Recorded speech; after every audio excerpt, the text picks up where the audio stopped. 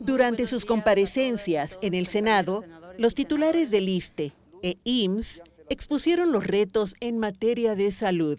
Nosotros estamos enfrentando contingencias heredadas por falta de planeación y porque nos alcanzó eh, desafortunadamente las enfermedades y la edad de los derechohabientes. Poder hacer un, cuerpo, una, alianza en el Senado para sensibilizar eh, que el tema de salud debe ser un tema plasmado en la ley de ingresos. Austeridad en el IMSS debe de ser gastar bien, hacerlo de forma eficiente y transparente. Además de la operación regular, nos hemos coordinado para abrir las puertas del instituto a nuevas poblaciones que, ya sea por programas gubernamentales o por reformas de ley, tienen derecho a la cobertura y eso era una deuda histórica muy destacada. Todos, eh, por eso digo que hablo del consenso.